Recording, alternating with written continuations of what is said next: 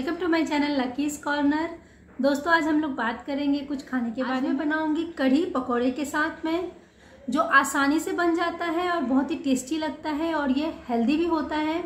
आप इसको बना के रोटी और चावल दोनों के साथ में इंजॉय कर सकते हैं। तो चलिए हम लोग स्टार्ट करते हैं कढ़ी बनाना।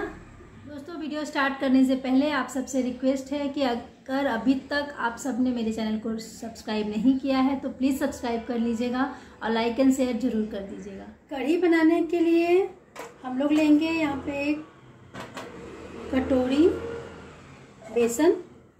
कढ़ी के साथ में बड़ी है, हम लोग बहुत अच्छा लगता है खाने को। तो ये बड़ी के लिए मैंने कढ़ी के अंदर जो हम लोग पकौड़े डालते हैं, उसके लिए मैं ये तैयारी कर रही हूँ। इसमें मैंने लिया है एक कटोरी बेसन। इसमें लूँगी थोड़ा सा नमक। नमक हम लोग को कम लेना है, क्योंकि हम लोग जब कढ़ी में इसको डिप करेंगे तो ये नमक खींच लेगा। सी हल्दी हम लोग लेंगे थोड़ा सा खाने वाला सोडा, इतना सा। और अब हम लोग इसको पानी के हेल्प से इसको अच्छा गाढ़ा पेस्ट जैसा बना लेंगे। पतला नहीं करना है हम लोगों को। ये कुछ दो चम्मच पानी लगेगा इसमें। इसको अच्छे से फेंट लेना है हम लोग को।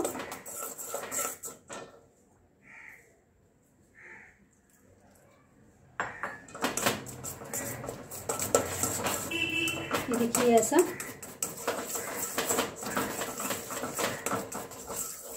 इसको हम लोग पाँच मिनट के लिए रख देंगे। अब हम लोग कढ़ाई रखेंगे गैस पे। कढ़ाई को गरम करना है। और इसमें कोई भी कुकिंग ऑयल आप लीजिए।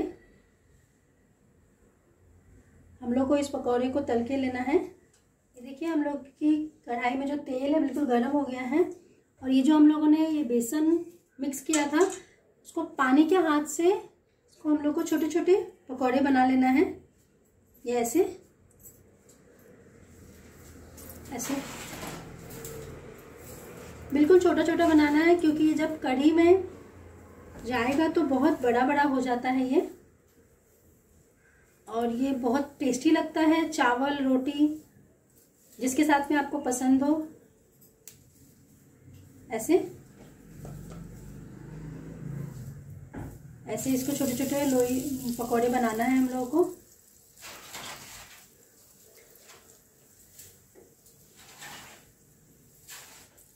देखिए पकौड़े एक साइड से सीख गया है, अब हम लोग इसको पलटी कर देंगे। ये अच्छे से ब्राउन हो जाएगा तो इसको हम लोग को निकाल लेना है। ये देखिए, हम लोग के ये पकौड़े रेडी हो गए हैं। ऐसे।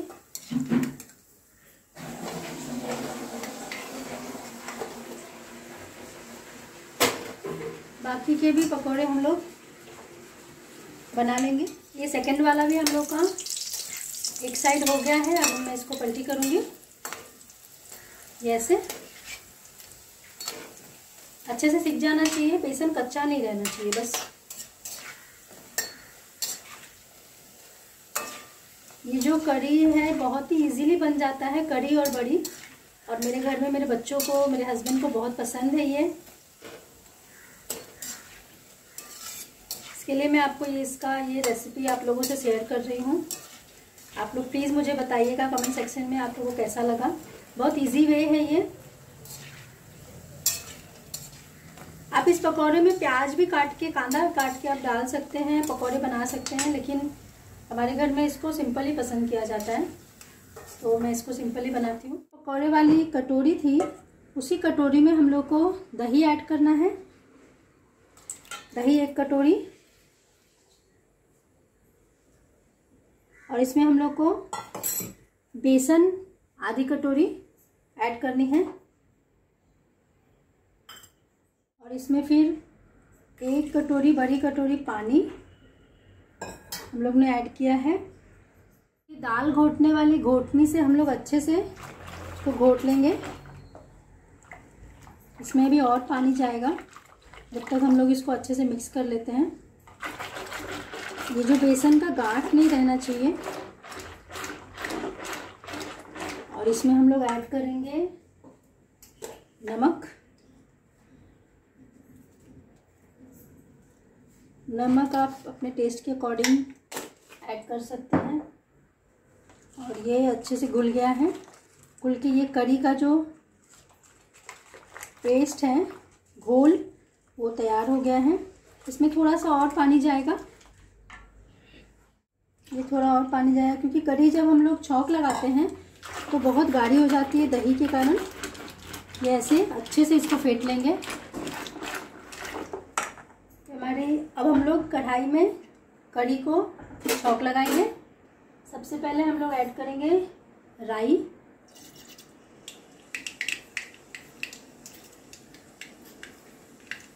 राई चटकने लग गया है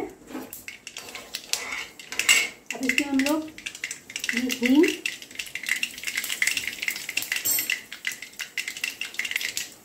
और फिर इसके बाद में हम लोग इसमें ऐड करेंगे। ये लहसुन को मैंने कद्दूकस करके रखा है। आप चाहिए तो पेस्ट भी बना सकते हैं। और ये मिर्ची है और करी पत्ता। तो ये मिर्ची और करी पत्ता मैं ऐड करूँगी।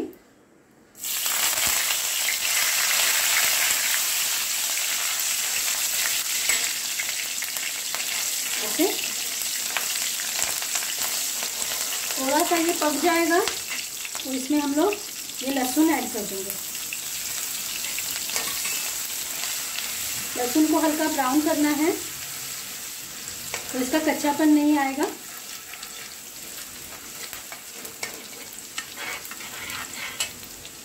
अब इसमें हम लोग ऐड करेंगे थोड़ी सी हल्दी।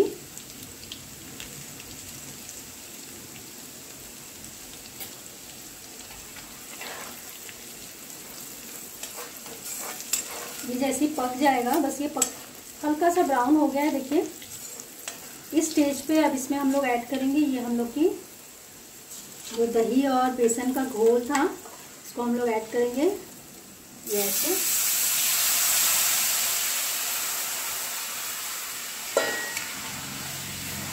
अब इसको लगातार चलाते रहना है। तो ये काट ना पड़े इसका। ऐसे। दो मिनट में इसको उबाल आ जाएगा।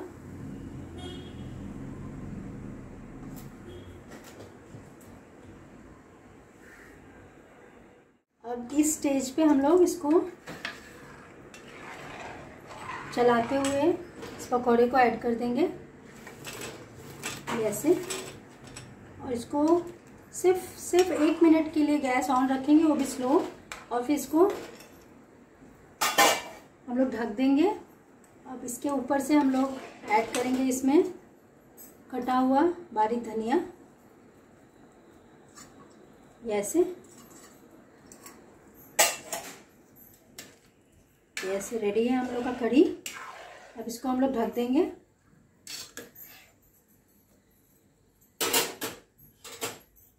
ऐसे। और स्लो फ्लेम पे हम लोग को रखना है। सिर्फ़ एक मिनट के लिए इसको हम लोग को ढक के गैस पे रखना है। बाद में गैस बंद कर देना। है ये देखिए, एक मिनट हो गया है और अभी देखिए हमारी कढ़ी बिल्कुल रेडी हो गई है। मैंने गैस का फ्लेम बंद कर दिया है। ये मस्त वाली कढ़ी तैयार है। तीखा चटपटा और खट्टा। अभी आप इसको चावल के साथ में, रोटी के साथ में इंजॉय कीजिए।